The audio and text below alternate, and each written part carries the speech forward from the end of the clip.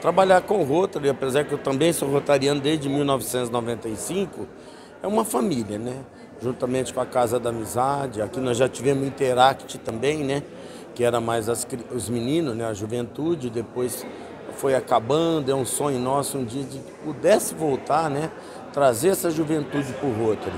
O Rotary é uma família, que ela está aqui para prestar serviço para toda a comunidade.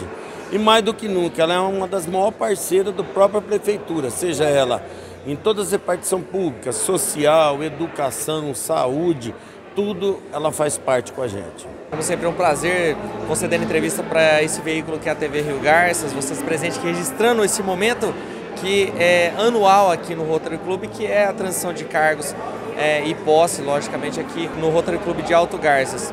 Logicamente também retribuindo a gentileza que todos os nossos companheiros, na pessoa do Gutenberg como presidente, foi a nossa posse, prestigiou a nossa posse e fez presente.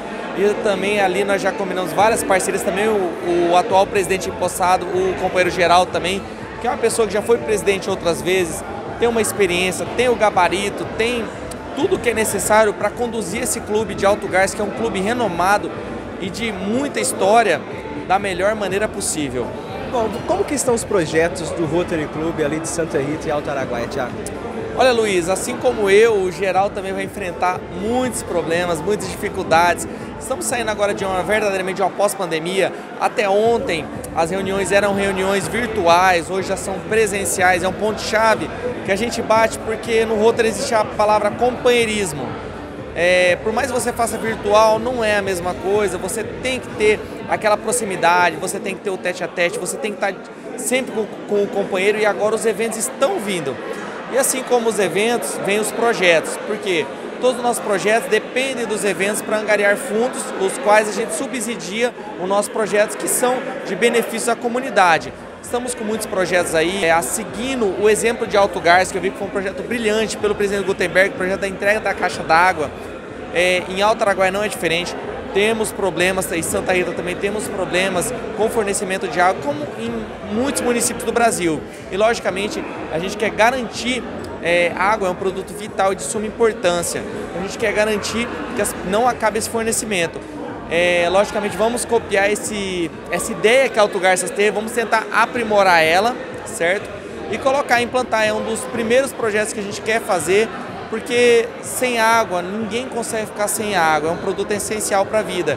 E a gente quer propiciar isso para as pessoas que muitas vezes, não por problemas é, próprios da pessoa que reside naquela habitação ou até de gestão, a gente sabe que problemas existem e o Rotary está aí para subsidiar esses problemas que às vezes o poder público não consegue alcançar, garantindo aí o arrefecimento de água para quem mais precisa.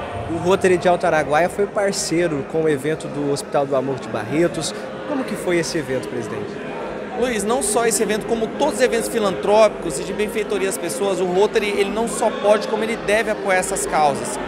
É um evento de suma importância, são pessoas que precisam. Como eu é, fiz a entrevista lá para as emissoras de TV em Alto Araguaia, nesse exato momento que nós estamos aqui concedendo essa entrevista para vocês, é, e você me fez essa pergunta, existem pessoas lutando pela vida. Então, é, tudo que a gente fizer é pouco. E uma das missões do Rotary é fazer a, o bem para quem mais precisa.